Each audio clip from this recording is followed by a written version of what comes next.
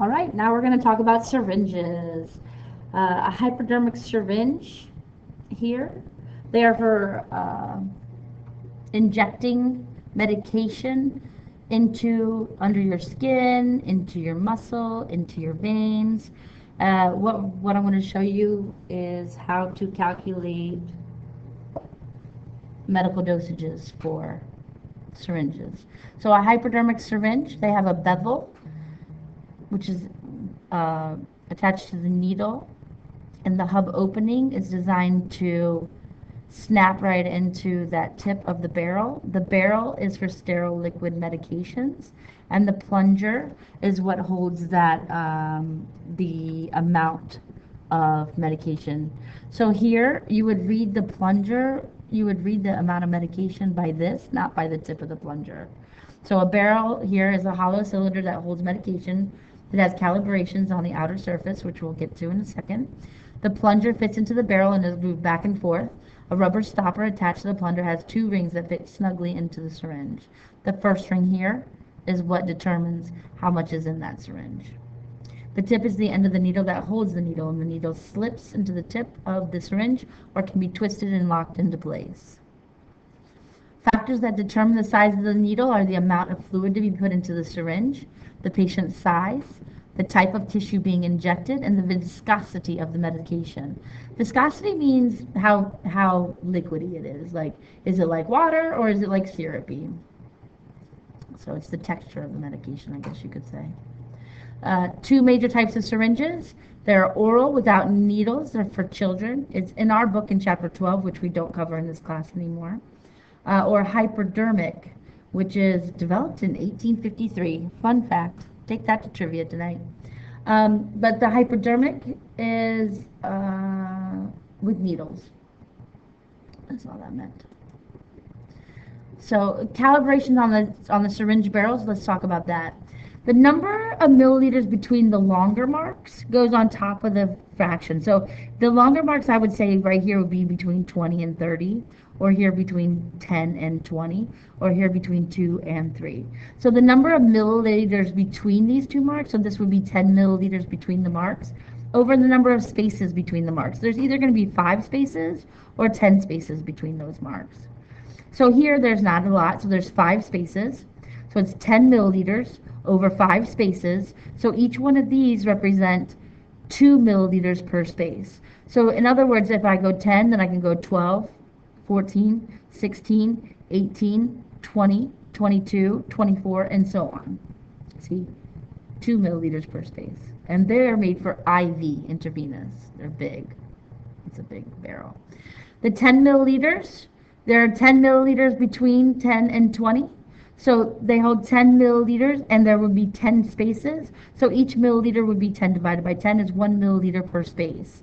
If I were to count, it would be something like this 5, 6, 7, 8, 9, 10, 11, 12, 13, 14, 15, 16, 17, 18, 19, 20. See how that's 1 milliliter per space. This would also be an IV needle. And once you get to a smaller needle, between 2 and 3, there are 1 milliliter. There is 1 milliliter, but there are 5 spaces. So 1 milliliter for 5 spaces. These would go up by 2 tenths of a milliliter. So it would be 2, 2.2, 2.4, 2.6, 2.8, 3. They're very small. And so on. So that would also be IV syringe. This next one is 1 milliliter for 5 spaces because from 2 to 3, for example, is 1 milliliter. From 3 to 4 is 1 milliliter. From 4 to 5 is 1 milliliter. So you have 1 milliliter between the bigger marks. And the little marks, there are only five of them, so those would also go up by 0.2 milliliters per space. And last, not last, but the next one here would be uh, between, I'm going to go from 1 to 2. So between 1 milliliter, there's 1 milliliter. And between there, see how this has a stopping point of 0.5? So between there, there are 10 spaces. So each one of these needles have 1 milliliter for 10 spaces, which would make it one tenth of a milliliter per space. So 1.1, 1.2, 1.3, 1.4, 1.5, 1.6, 1.7, 1.8, 1.9, and 2. This would be an intramuscular syringe. It holds 3 milliliters. The last one would be a subcut syringe. So it would be um, between the longer marks. I rewrote these for you so that you could see that there's a tenth of a milliliter between the bigger spaces and they're little tiny things but there's five spaces in there so if you would do 1.1 divided by 5 you would see that each one of those little itty bitty teeny marks are two hundredths of a milliliter so if you're giving medication to a patient and you want to give it by the hundredths you, then you would use a subcut syringe it could also go into the muscle if you want to go to the hundredths if it's under one milliliter. So, but uh, typically this would be for subcut. Typically this would be for intramuscular, and the rest would be for IV. So if your if your measurement is under one milliliter, you're going to round to the nearest hundredth because that's what your syringe goes up by. If you're going to three milliliters, you're going to round to the nearest tenth. So large capacity syringes are these, which go through the IV for uh, drawing blood or preparing medications for IV administration. Small capacity syringes are these little ones over here, and they're for intradermal, subcutaneous, or intermuscular injections. So right now, they're phasing out cubic centimeters, or cc's, and milliliters is preferred. cc's and milliliters are the exact same things, but you have to be careful because although milliliters is preferred right now, there are still some old school places that use cc's. So the doc might say something like, oh, give your patient you know, drain, you know, eight cc's from the patient's knee or whatever. And you would be like, all right, no problem. And you'll go, all right, that's eight milliliters. And that patient might be crazy and might say something to you like, oh no, it can't be. The doctor said cc is not milliliters. And they just might keep going with uh,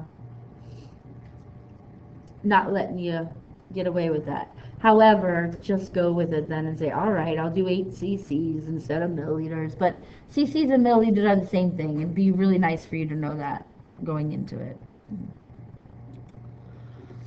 There are sterilized syringes, or I'm sorry, specialized syringes such as insulin syringes, which are marked with USP units uh, by the United States Pharmacopoeia.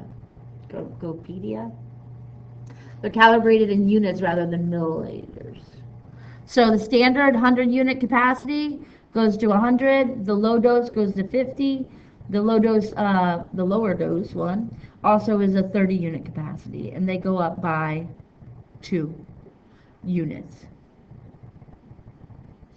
The dual scale version of the 100 unit insulin syringe is on one side, they'll go up by every other one. But then if you need an odd number, you just switch the, um, the barrel over and then you mark it by the odd. So for example, this would be 55, 57, 59, looks like that's 61. And this one here would be 60. So, yeah. And they're tuberculin, tuberculin syringes. They're slim barrels and they hold only one milliliter or one cc when full. So indicate which type of syringe should be used to make each of the following injections and give properly rounded amount that should be administered. So a dosage calculation yields 11.25 milliliters of a medication to be administered through an IV drip of dextrose 5% in water. So what is this asking? Which syringe would you use? Well, as we saw before, we have IV syringes, we have IM syringes, and we have subcut syringes. And this is a bigger version of the subcut because that's really hard to see.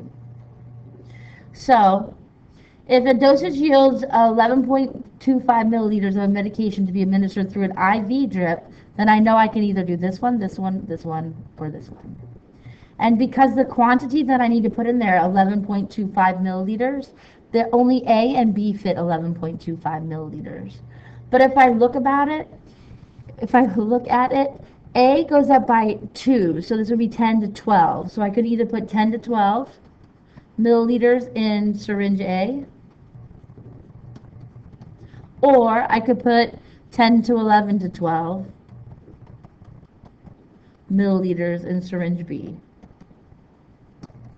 So although both of them are for IV injection, and then you would never put it in C, because C would go over 10. Don't guesstimate it. Use a bigger uh, barrel. So this one, actually the correct answer would be then syringe B.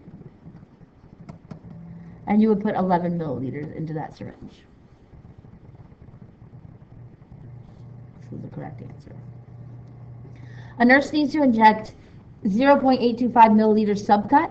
So if we look at the subcut syringe, the only subcut syringe we have is this one, which is blown up here for us.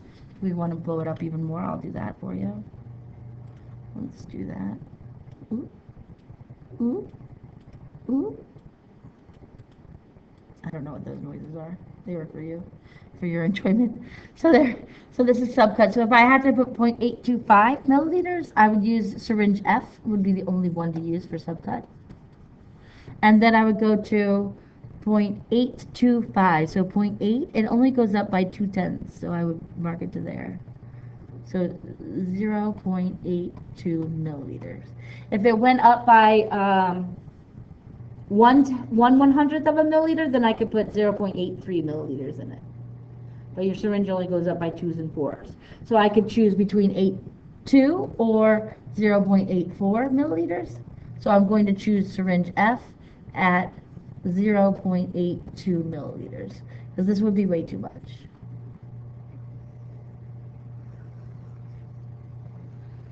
Cool.